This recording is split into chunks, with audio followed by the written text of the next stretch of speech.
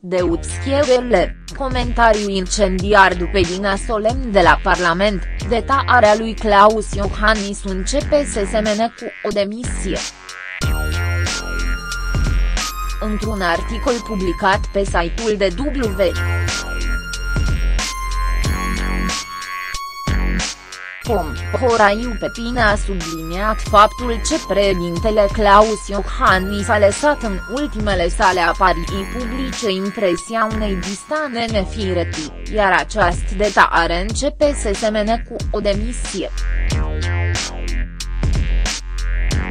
Referindu-se la faptul ce șeful statului nu a participat mari la Edina Solemn din Parlament, organizat pentru a marca 100 de ani de la unirea Basarabiei cu România, ci a ales doar să transmit un mesaj. Jurnalistul calific gestul lui Claus Iohannis drept un boicot. Se afla acolo toată lumea futii predinii, custodele coroanei, Patriarhul Bor, membrii ai Academiei, mai puin președintele în exercițiu. Contează acum mai puin conținitul mesajului care reia formula oficial cunoscută care pune unirea în termenii convergeniei europene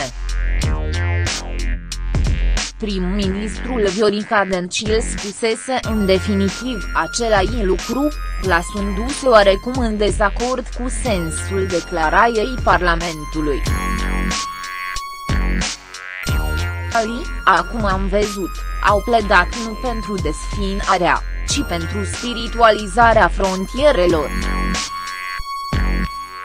Nu a existat nici cea mai neînsemnat polemic. Prin urmare, nu unionismul era miza, ci participarea în sine. Indiferent de opinii, e un subiect important de istorie românească.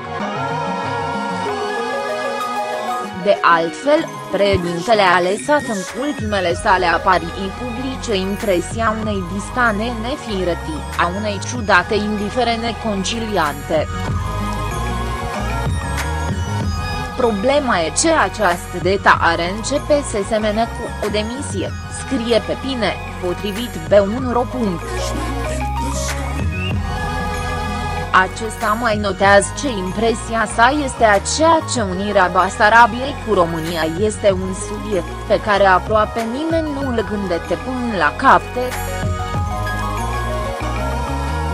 În acest sens, Jurnalistul a precizat ce discursul președintelui Senatului, cel din Popescu-Tericianu, a fost o modalitate de a condamna pe ocolite situația politic din Ari, pe când trimite la abuzurile judiciare.